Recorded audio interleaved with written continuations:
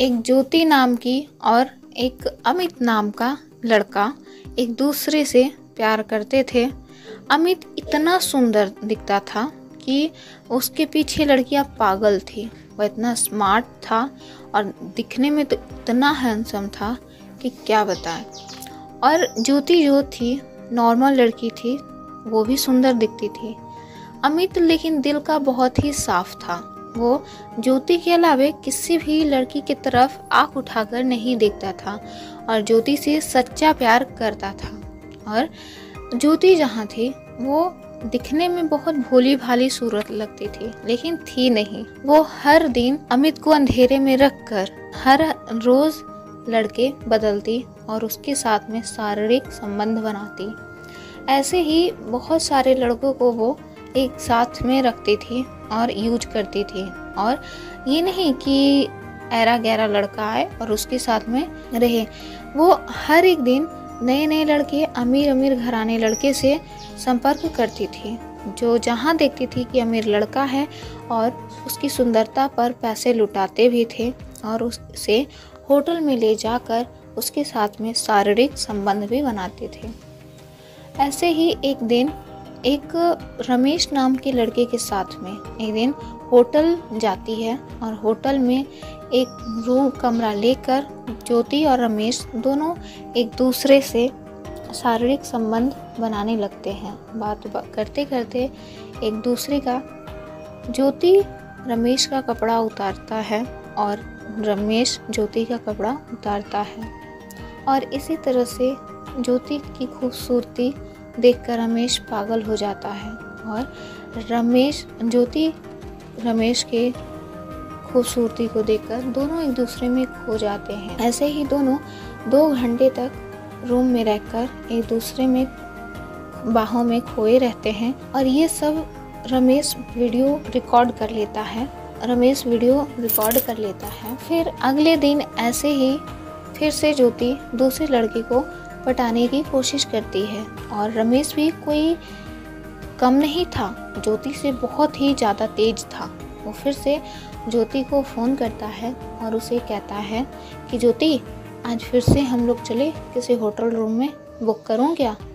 तभी ज्योति कहती है, मैं तुम्हें नहीं जानती कौन हो और मुझसे दोबारा कभी बात मत करना। मेरा ऑलरेडी बॉयफ्रेंड है।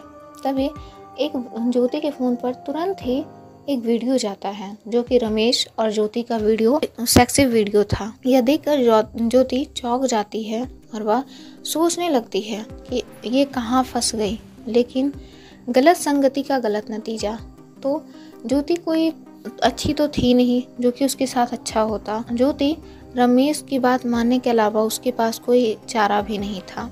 इसी तरह रमेश और ज्योति दोनों हर दिन होटल में जाने लगे और अमित जो था, यह सब दे ही जानता था, लेकिन धीरे धीरे ज्योति पर उसे शक हुआ कि ज्योति हर दिन शाम के समय में कहाँ जाती है। मुझसे उतना बात भी नहीं करती है। क्या बात है? कहीं मुझे धोखा तो नहीं दे रही है? प्रत्येक दिन वह ज्योति रमेश के साथ में एक होटल रूम लेकर कमरे में शारीरिक संबंध बनाती थी इधर बेचारा अमित जो उससे बेहद प्यार करता था, वो हमेशा ज्योति पर शक नहीं करता था, लेकिन शक करने पर मजबूर ज्योति ही की।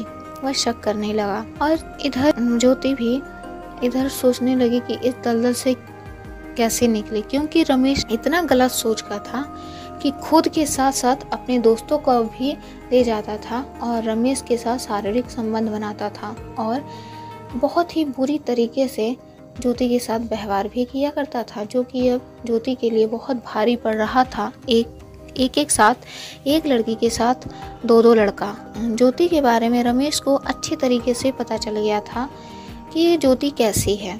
तो इसीलिए रमेश ज्योति को सबक सिखाने के लिए वैसा कर रहा था। अमित एक दिन उसे रमेश के साथ होटल में जाते देख लेता है और कमरे में दोनों को एक साथ में देख लेता है। और तभी अमित बहुत ही देख कर रोने लगता है और ज्योति से कहता है, ऐसा क्या मेरे प्यार में कमी रह गया था ज्योति, जो तुमने मेरे साथ ऐसा किया कि कभी भी तुमने किसी चीज़ के लिए बोला, वो चीज़ मैं हर चीज़ को तुम्हारे कदमों के नीचे रख दिया और साथ में शारीरिक संबंध की बात रही। इतनी तुम प्यासी थी, मुझसे इतना ही तुम्हें शौक था तो मैं तुमसे सच्चा प्यार करता था। तुम उसे शादी ही कर लेती तुम्हें कभी भी कमी महसूस नहीं होने देता। मेरा प्यार झूठा नहीं, सच्चा है। अमित की बात सुनकर ज्योति कहती है, तुम हर चीज़ मेरे कदमों के नीचे ला सकते थे, लेकिन जब भी मैं तुमसे सेक्स के बारे में बात करती थी, तुम हमेशा पीछे हट जाते थे। हमेशा शादी शादी शादी करते रहते थे और मुझे कोई इंटरेस्ट नहीं है। मुझे हर एक दिन हर एक लड़का बदल के चाहिए होता है, जो कि तुमसे मुझे कभी नहीं संतुष्टि मिलती। इसलिए मैं ऐसा कर रही थी। लेकिन आज जो भी हूँ, मैं खुश हूँ और मुझे कोई दिक्कत नहीं है। अमित उसकी बातों को सुनकर बहुत ही हैरान होता है। और फिर वहाँ से गुस्से से होटल के कमरे से निकल जाता है। और इधर रमेश हमेशा ज्योति को ब्लैकमेल करता और हर एक दिन तीन चार लड़का साथ साथ में कभी पाँच छः लड़के लाते और उसके साथ होटल में जाकर शारीरिक संबंध बनाता। इसी तरह ज्योति बहुत ही कमज़ोर हो गई थी। करते करते वह पछताने लगी कि उसने कितनी बड़ी गलती की है। और एक सच्चे प्यार को धोखा देने का नतीजा यही होता है।